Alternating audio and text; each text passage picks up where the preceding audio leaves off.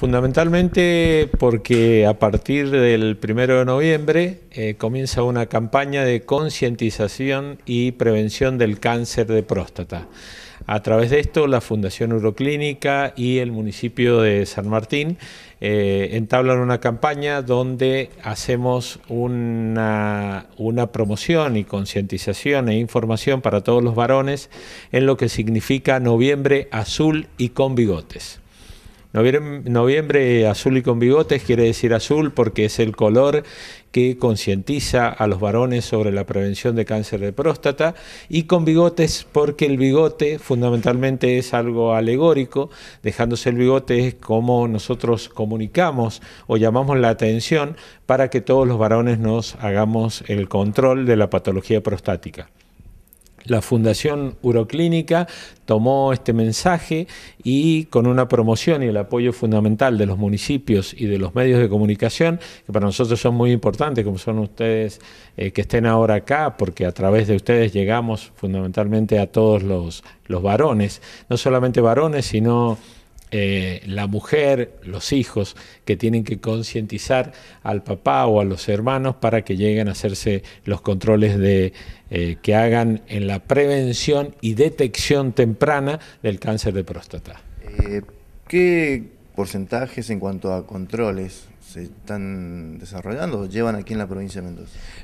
los porcentajes y controles verdaderamente son muy bajos, por eso son estas campañas. Nosotros sabemos y vemos que en lo que significa el control en la patología prostática en general en el varón son muy bajos porque evidentemente no existen planes de concientización e información.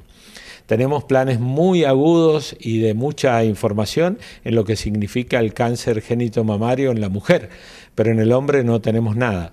Entonces por eso agradecemos y y la Fundación Uroclínica eh, está muy eh, contenta y agradecida de que municipios como el Departamento de San Martín, a través de su intendente, nos abran las puertas para que podamos comunicar y llegar a la sociedad. Eh, pero creemos que el cáncer de próstata es una patología que no está estudiada, el hombre no, no tiene conciencia de hacerse los controles y por eso son estas campañas de información. Digamos que es el primer paso, que quedamos en una propuesta ambiciosa que tiene que llegar hasta donde nosotros demos, porque la fundación está dispuesta, ¿no? Y digo hasta donde nosotros demos como municipio, pues nos están proponiendo muchísimas actividades y también a lo que nosotros demos como comunidad. Eh, y eso los involucra especialmente ustedes, ¿no? Porque lo que se está proponiendo como primera medida, además de algunas cositas concretas, es eh, poner esto en, en la conciencia de la gente de San Martín. Es decir, así como las mujeres todos los años eh, asumiendo que se pueden enfermar, eh, se, hacen exámenes de control, los hombres creemos que no nos enfermamos nunca o le tenemos mucho miedo a, la enfermedad, no tenemos recursos para enfrentar la devastación que a veces una mala noticia de enfermedad nos provoca, eh, parece que, nos escapamos, ¿no? Entonces, bueno, depende mucho de ustedes que se asuma esto con naturalidad. El doctor recién decía que, hay muchas formas de controlar, que no necesariamente son formas invasivas, que, a veces pareciera que, les escapamos a ese tipo de cosas, ¿no? Hay muchas formas de, controlar eh, esto, eh, así es que, bueno, es una invitación a, los medios de comunicación y a toda la comunidad de San Martín para que esto se haga viral, para que en las redes todos lo compartamos, para que no, que no quede nadie sin saber eh, que, esta es una problemática que nos afecta a todos y bueno, en, nuestra función de Estado, básicamente el, Estado tiene que dejar que los particulares hagan cuando los impulsos o las iniciativas son buenas, entonces un agradecimiento al doctor porque la iniciativa es muy buena, eh, un agradecimiento al doctor Vega, que ha sido médico nuestro en licencia mucho tiempo y que bueno, ahora está en una etapa de su carrera de perfeccionamiento en esto de la urología, pero no ha dejado eh, a, la, municipalidad en sus afectos y, y, nos ha insistido muchísimo en que nos sumáramos a esta, a esta iniciativa de la que es parte. Exactamente, es un municipio abierto siempre a recibir, a colaborar, y en este caso el tema de salud también, siempre hay buena predisposición y se apoya al máximo. Sí, realmente cuando hay buena predisposición nos tenemos que abrir. Creo que dije Iván Vega recién en vez de Maxi, lo, mencioné al hermano de, Maxi no, y no, a Maxi, entonces me corrijo.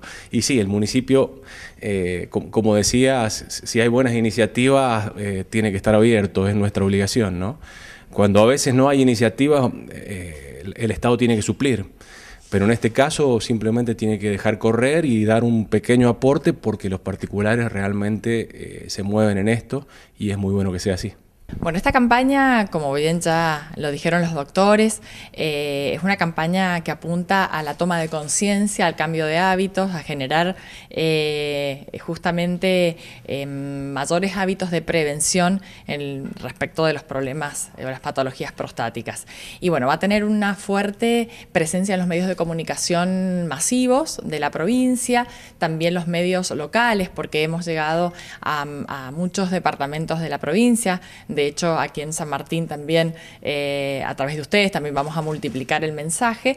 Eh, también estamos invitando a que la gente, toda la comunidad se sume activamente a través de sus propias redes sociales eh, a partir de, una, de una iniciativa y es que se tomen fotos con bigotes, por eso también es Noviembre Azul y con bigotes, ¿no? en, clara referencia a la prevención y al, al bigote como ícono del género masculino, ¿no? Se tomen fotos con bigotes reales o postizos y también lo puedan compartir en sus redes sociales a través del hashtag Noviembre Azul y con bigotes. Este es un poco lo que también estamos mostrando y estamos este, em, incentivando a la gente para que participe.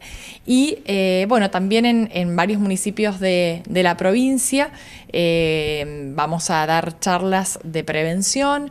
Aquí en San Martín estaremos el próximo martes, 7 de noviembre, eh, a las 11 de la mañana. Vamos a, con el equipo médico de, Fundación Uroclínica, brindar una charla de concientización y prevención sobre el cáncer de próstata.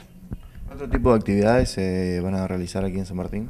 Em, fundamentalmente comunicacional, ¿sí? De hecho ya lo vienen haciendo eh, desde hace algunos días a través de los canales de los distintos medios de comunicación que existen aquí en el departamento y también, bueno, eh, nuestro aporte en la charla, pero seguramente el municipio va a contribuir con algunas otras acciones este, para llevar este mensaje a, la mayor cantidad de gente posible. ¿Estas charlas están destinadas a alguna edad?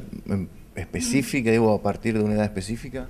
No, son abiertas a toda la comunidad. Por supuesto que eh, hay un público específico que, de mucho interés, que son los agentes sanitarios y los médicos este, de, hospitales y centros de salud del municipio, pero es una charla abierta a, toda la comunidad y de, de hecho así ha sido pensada, ¿no? para que el mensaje llegue a todos.